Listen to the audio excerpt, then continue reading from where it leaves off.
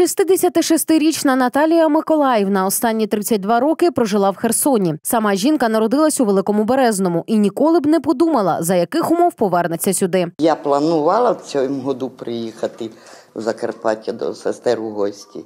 Ну, але не думала, що так будемо. Все кидати, все.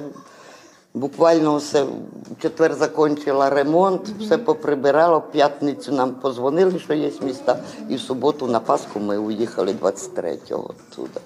Поки були хоч якісь запаси їжі, Наталія Миколаївна трималася в окупованому Херсоні. Ну, а далі вже все, як отак півбулки хліба на 4 дня. Два рази ну, кожних 4 дня привозили на, на людину. Це вже неможливо вижити. То все одно ж треба чимось. Дуже важко. Наразі вся велика родина, п'ять дітей, 16 онуків та два правнуки в безпеці. Жінка проживає у великоберезнянському садочку Веснянка. Перші вимушені гості почали прибувати на початку березня. На даний час проживають три сім'ї: дві із Херсону.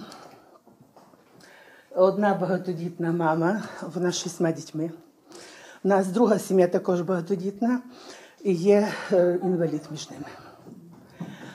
Ну і одна сім'я з Миколаєва. А це пані Наталія із Херсонщини, мама шістьох дітей. Родина проживає в садочку другий місяць. Добиралися, нас вивозили волонтери от, до Запоріжжя. З Запоріжжя ми сіли на евакуаційний потяг е, до Львову. Ну, а з Львову ми вже приїхали своїм этим, ну, за гроші, все. А так їхали безкоштовно. Нас вивозили, допомагали нам волонтери. Додому родина повертатись не має можливості. Місто під окупацією. Там, де я жила в другому селі, от, то там теж їх дуже багато. Людей багато повиїжджало, ну там школу розбили, садочок розбили, там нема нічого.